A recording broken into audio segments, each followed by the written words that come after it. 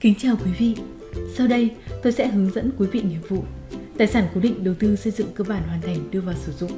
Tôi ví dụ, ngày 2 tháng 5 năm 2015, công trình xây dựng tòa nhà làm việc đã hoàn thành, bàn giao đưa vào sử dụng với tổng chi phí sản xuất là 5 tỷ đồng. Với nghiệp vụ trên, quý vị thực hiện trên phần mềm theo hai bước. Hạch toán nghiệp vụ nhận tài sản do đầu tư xây dựng cơ bản hoàn thành. Ghi tăng tài sản cố định vào sổ tài sản cố định. Bây giờ, tôi sẽ hướng dẫn quý vị thực hiện từng bước. Bước thứ nhất, hạch toán nghiệp vụ nhận tài sản do đầu tư xây dựng cơ bản hoàn thành. Quý vị vào phân hệ tổng hợp. Chọn tab chứng từ nghiệp vụ khác, nhấn thêm. Chọn chứng từ nghiệp vụ khác. Quý vị khai báo diễn giải để quản lý các chứng từ nghiệp vụ khác được dễ dàng trên danh sách.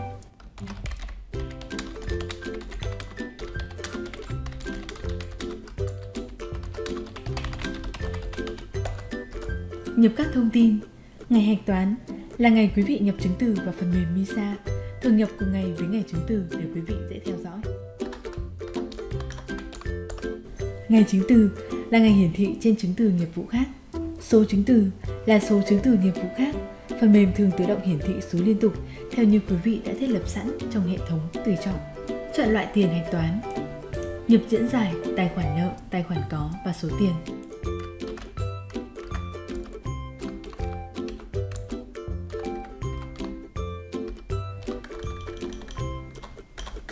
Khai báo xong, quý vị nhấn cất. Tại đây, quý vị có thể in được mẫu chứng từ kế toán của MISA đã thiết lập sẵn bằng cách nhấn chọn chức năng in. Chọn chứng từ kế toán. Kiểm tra lại mẫu chứng từ, sau đó nhấn chọn biểu tượng in. Bước thứ hai, ghi tăng tài sản cố định vào sổ tài sản cố định. Quý vị vào phân hệ tài sản cố định. Chọn tab ghi tăng. Nhấn thêm. Tại tab thông tin chung, khai báo các thông tin. Số chứng từ ghi tăng là số chứng từ ghi tăng tài sản cố định. Phần mềm thường tự động hiển thị số liên theo như quý vị đã thiết lập sẵn trong hệ thống tùy chọn. Ngày ghi tăng là ngày bắt đầu ghi tăng tài sản cố định trên phần mềm. Hiện tại đang ổn định là ngày hệ thống. Quý vị có thể thay đổi lại thông tin này. Sau đó khai báo các thông tin về mã, tên, loại tài sản, điều kiện bảo hành, đơn vị sử dụng, nhà sản xuất, năm sản xuất, số hiệu, nước sản xuất, nhà cung cấp, thông tin về biên bản giao nhận.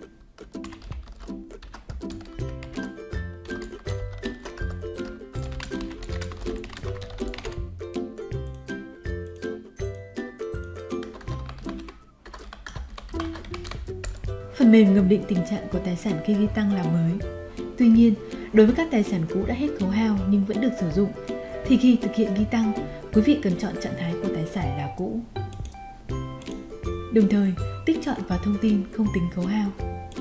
Để phần mềm không tính khấu hao tài sản cố định đó. Chuyển sang tab thông tin khấu hao để khai báo các thông tin phục vụ cho việc quản lý và tính khấu hao tài sản cố định như thời gian sử dụng, nguyên giá, Phần mềm đã ngầm định tài khoản nguyên giá và tài khoản khấu hao dựa theo thông tin về tài sản mà quý vị đã khai báo tại tab thông tin chung. Quý vị có thể chọn lại hai tài khoản này để phù hợp với việc hạch toán tại đơn vị. Khai báo nguyên giá của tài sản Phần mềm sẽ ngầm định giá trị tính khấu hao và giá trị còn lại của tài sản dựa vào nguyên giá tài sản vừa khai báo.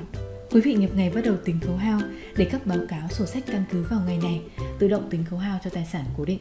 Nhập thời gian sử dụng tài sản cố định theo tháng hoặc theo năm. Sau khi quý vị nhập thời gian sử dụng, phần mềm sẽ căn cứ vào thông tin này để tính ra các thông tin tỷ lệ phần trăm tính khấu hao tháng, tỷ lệ phần trăm tính khấu hao năm, giá trị khấu hao tháng, giá trị khấu hao năm. Lưu ý, Đối với những tài sản cố định có nguyên giá vượt mức tối đa để tính khấu hao theo quy định của luật thuế thu nhập doanh nghiệp, thì quý vị tích chọn ô giới hạn giá trị tính khấu hao theo luật thuế thu nhập doanh nghiệp và nhập giá trị tính khấu hao theo luật. Hàng tháng, khi thực hiện tính khấu hao tài sản cố định, phần chênh lệch giữa giá trị khấu hao hàng tháng với giá trị tính khấu hao theo luật chênh lệch lớn hơn không sẽ được tính vào chi phí không hợp lý để loại trừ ra không tính vào chi phí khi tính thuế thu nhập doanh nghiệp.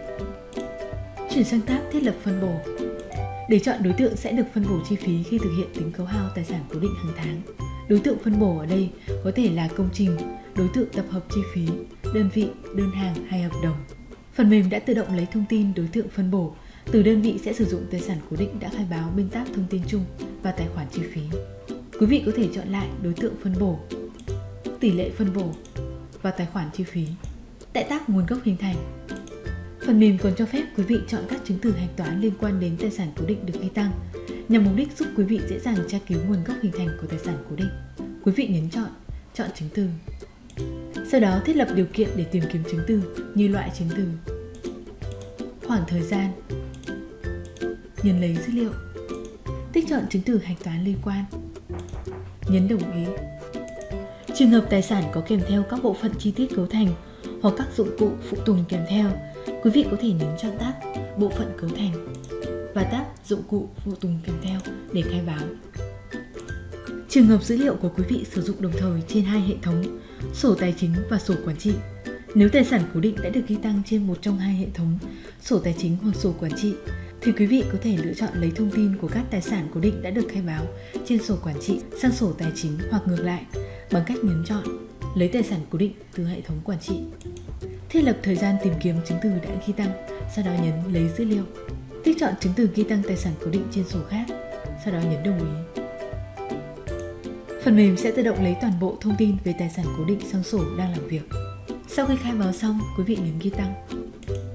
Thông tin về tài sản cố định vừa được khai báo, ngoài việc được lưu trên tab ghi tăng, còn được lưu bên tab sổ tài sản. Trên đây, tôi đã hướng dẫn quý vị thực hiện nghiệp vụ tài sản cố định đầu tư xây dựng cơ bản hoàn thành đưa vào sử dụng. Cảm ơn quý vị đã chú ý lắng nghe và chúc quý vị thực hiện thành công. Trong quá trình làm, anh chị có vấn đề nào thắc mắc, cần được giải đáp và hỗ trợ thì anh chị đừng ngại tham gia và đăng bài trên cộng đồng hỗ trợ MISA SME nhé.